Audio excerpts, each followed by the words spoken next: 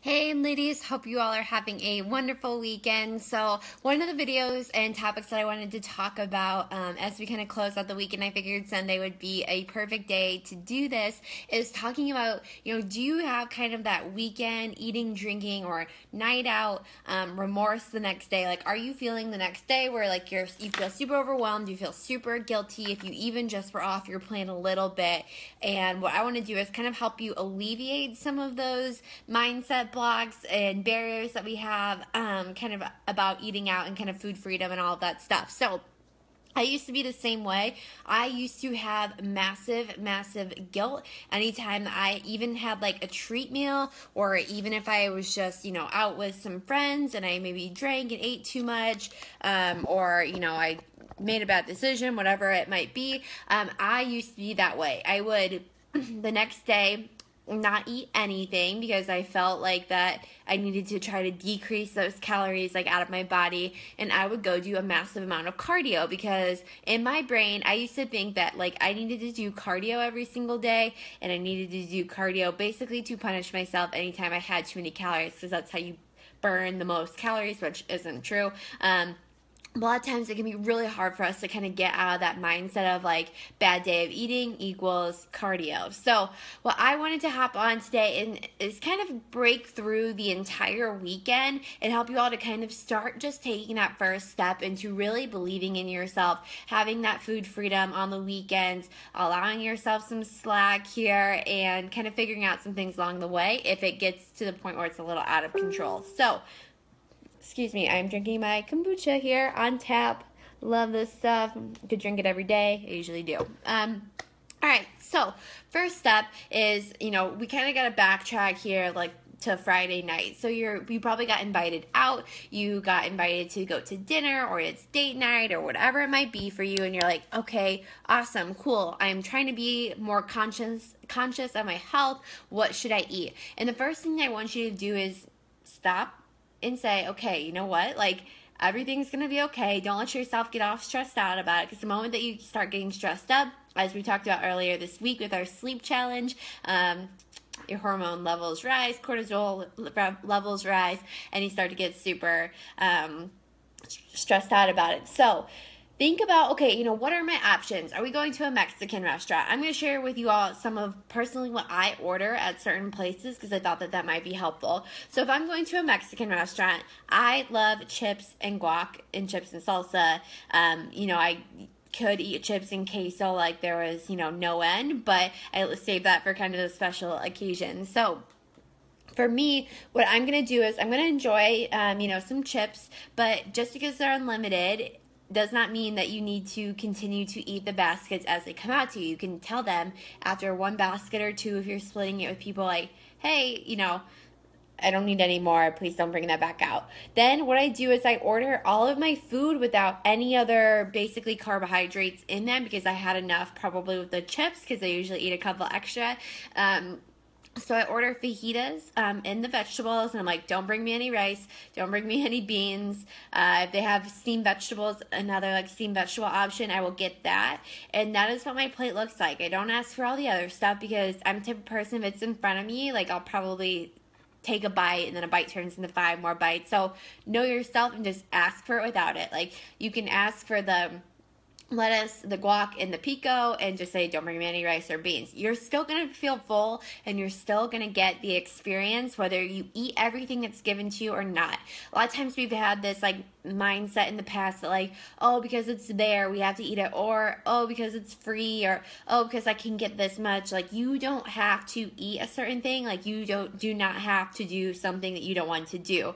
We are all grown women and we can make our own decisions here so choose it. Like that way you're still getting the experience. You can still have a margarita. You can still do all of this stuff and still feel, you know, kind of at ease. Now, depending upon if I'm like really treating myself, I'll have like a frozen margarita. Um, but otherwise, if I'm like, okay, like I just need to stay dialed in and this isn't like some all out big, you know, fun thing, uh, then I will get one that's like freshly squeezed or on the rocks. So that way there's not a lot of the added sugar and stuff in there.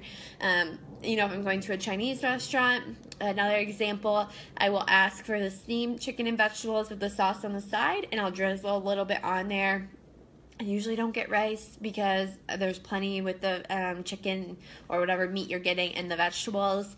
Um, you know, if I go to a burger place, I, I won't get the bun. I can't tell you the last time that I had a bun on a burger and I survived. I love french fries. Like those and tortilla chips are my thing. And so I will get french fries and I will get a bun without a burger. And I still feel full. I still feel fine. I love it and it feels great. Um, so you just have to kind of think about like what's a healthier step that I can take. You know, how can I still enjoy all my favorite things? And so asking something open faced without the bun um, on a bed of lettuce, whatever it might be, is super helpful in those situations. You do not always have to order a salad where you go. Um, another tip to asking for a box, like right when you start eating, people might look at you like you're crazy, but um, you know, if I put it away into a box and I put it in a bag. Like I'm not gonna go pick back out at it again.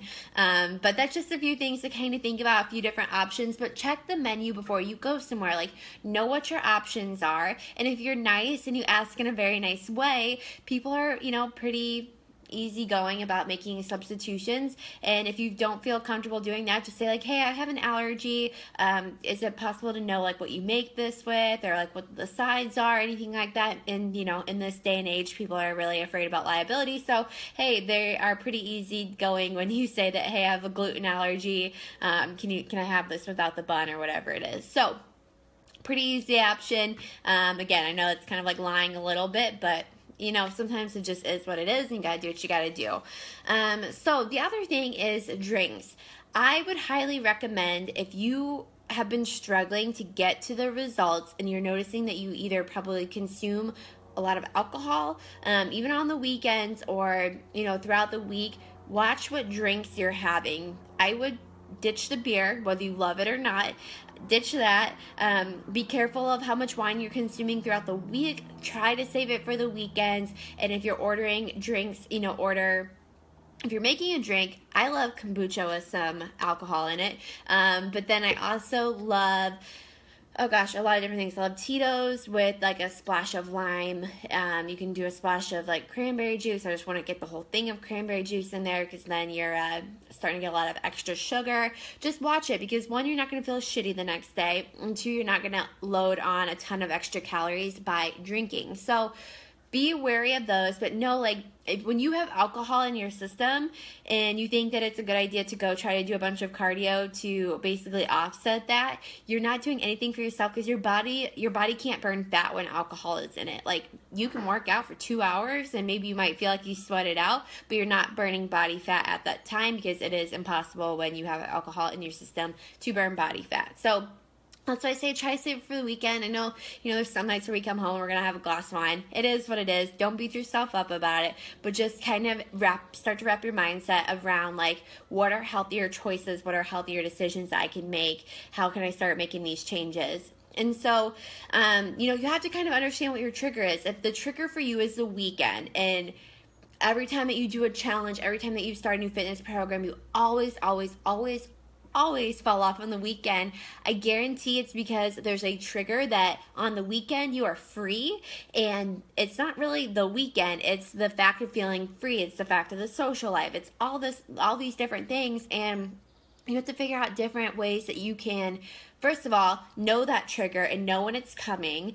And second of all, start to back off from that trigger and be like, what's a healthier option that I can have? And um, you can always suggest different things to your friends. Like you can suggest going for coffee. Um, you know, I don't want to ever make you feel like a hermit or anything like that, but you have to choose sometimes what's best for you because not everybody in this world is looking out for your best interest. And that might be a hard pill to swallow and kind of like a wake up call. But just because somebody else is doing something, something does not mean that you have to do something. Be powerful in your choices, be powerful in what you're doing, and know that it is okay to say no, or even if you do go out, it's a very sobering experience, like to not you know, consume a ton of alcohol and be in those situations.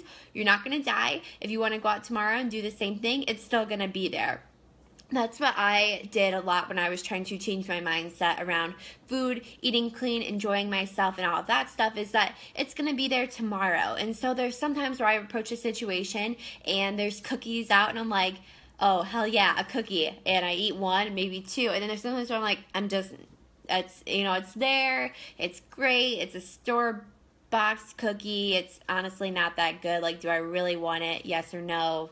Probably not. Am I gonna eat it? No. But like, I don't ever put the limit on myself that I can't have something, and that's something I want you all to think about. So like, don't put the limit on that cookie or that cupcake or that drink or that meal out that you can't have it look at it as it look at it as an option look at it as like is this going to fuel my body is this going to do something good for me do i really want this or do i just want it because it's there and like I said, some days you're gonna have it and that's okay, and some days you're not gonna want it. And like that's where food freedom really comes in. That's how, you know, surviving not surviving but really thriving through the weekends is going to help you feel so much better when you don't put so much pressure on food and when you don't put food as the bad guy or you don't label things as bad good can't have have. If you kind of kind of break down those limits and be like you know not as healthy for me am i gonna have it today? Sure but it, the more you balance it out um the better off you will be, the better you will start developing a more positive relationship with food. Because a lot of times, what happens is the next day we have eating remorse, or we have drinking remorse, or we're like, oh god, like I ate too much last night, or maybe had a couple too many drinks. Um, not going to go into like the decision piece of it, but you know, you kind of have these like, uh, like guilt feelings. Now, what you have to kind of train your brain to do is to stop looking at those as guilty things and say, hey, it's okay that I had that. It is what it is. Next, like, what maybe did I eat too much because I didn't eat enough throughout the day? Did I not get enough water in? Did I not get a workout in? So I was just kind of feeling blah. And take note of that. Take note of how you're feeling before you make your decisions and then after. But do not beat yourself up because you will continue to have this awful relationship with food and, you know, fun times out and social things, and you will chase your tail around in a circle like Ziggy does every day. Um, so don't do that to yourself because that's how you're going to get those lifelong results. For me, um, personally, this took time. You really have to kind of get into the woo woo part of your brain and really say, like, hey, this is how I'm going to make a difference. You know, tonight I'm going to take it a little bit easier, and, you know, maybe tomorrow I'll go and, you know, do whatever. So, like, you just have to kind of find that balance, and it's more than just like, turning yourself into a hermit and being like, oh, well, I can't do anything, so I'm just not going to do anything, or like, how am I going to explain this to people? Don't explain it to people. If it gives you so much anxiety to have to explain what you're doing or why you're not choosing something to people, you can be sneaky and, you know, get a soda water with a lime in it and just ask the person not to put any alcohol in there. Like, you can do little things like that if that stresses you out too much to just say, I'm not drinking, because then, you know, people are like, why aren't you drinking or why aren't you eating this or whatever. Um, but always bring a snack with you beforehand, too. But I learned after figure competing and everything else that, like, one, things will still be there. Two, don't limit yourself from things that much because life is too short. But three, choose what is taking you closer to your goals every day. Because if it's week three, and week three is when you always start to fall off the bandwagon, you need to say to yourself, what makes me always fall off the bandwagon, always kind of dive back out and really just go bingy, um, you know, through week number three or week number four. And it's probably because you put this mindset on that you've limited yourself for so long, and then you get that one opportunity out, and you're like, I'm gonna eat this and that and this, and then you like spiral back down, and you're like, oh, it's too like it's too late. It is never too late. It is okay to have those days because we are human and we need to live. We need to have some friggin' ice cream and a whole thing of pizza sometimes, but then the next day we choose better. The next day does not mean that you have to continue to eat like shit just because the day before you did. So I get a little preachy on this because I have hurt my metabolism, I have hurt my body in the past by binging what out what I have ate um, and all that kind of stuff and so I can share with that very uh, knowledgeably after a long time of eating disorders and uh, other mindset stuff that you can do this. Do not put the limits on your food because you will go into a deep, dark hole that is really, really hard to dig yourself out of. So, um, don't have the guilt. And then, you know, the next day, do some things that are good for your body. If you're like, I can't really work out right now because I'm just not feeling it, start to do something for a few minutes. Go for a walk. Um, drink a green juice. Those things will cure your life. And, you know, I'm not saying you have to go out and buy a $6 green juice. Like, make something at home fuel your body with stuff that's good for you. Um, because your body's craving sugar, it's craving carbs, it's craving crap, and you got to put some good stuff into there. Otherwise, you're just going to continue to feel like shit. So, green juice, uh, move your body, have a protein shake. That's always usually something good, and it's cold, so it usually tastes good too. Uh, I would stay away from Gatorade. I used to be a cereal, like, unless I'm super, super, you know, had a rough fun, crazy night, then I'll have some Gatorade. But drink some um, BCAAs the next day.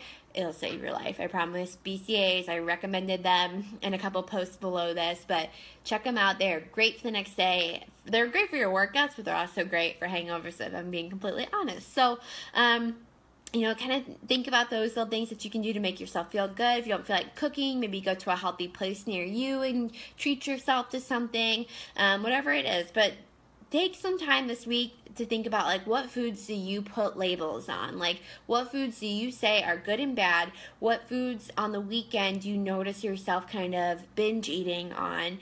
And how do you feel after those? How do you feel before the weekend? How do you feel after the weekend? How do you feel on monday? So think about those things. Start to wrap your head around a few different things here and know that you can do anything that like you want to do in these next well it's like four weeks technically together um, but remember why you started this. Remember why you signed up for it, why you put your best foot forward and said, like, I am going to do this because you're not going to fail. You're going to continue to get better every single day. And this is going to be something where you can actually have food freedom have a life and do everything too. So, hopefully, that gave you all a little bit of clarity, some ideas for the weekends. If you have questions about the weekends or different things or anything like that, let me know. But again, it is good to have that one day where you do have like a little treat or you go a little bit kind of, you know, off your plan and enjoy yourself because that's going to reset your metabolism. Your body's going to say, What the hell is going on? And it's going to burn through that even quicker. I personally, when I, um, side note before I, ha- before I hop off of here when i have kind of my one meal every week like a burger and french fries or whatever it is um, i will actually weigh less the next day because after time i've trained my metabolism and this took a while um, to basically where i will weigh less because my body is trying to fight through all of that and reset itself. So little fun tip that takes some time that takes a lot of um, really dialing yourself in throughout the week and being on your game. So let me know if you have any questions and i am going to go make my grocery list. So i will talk to you all soon. Goodbye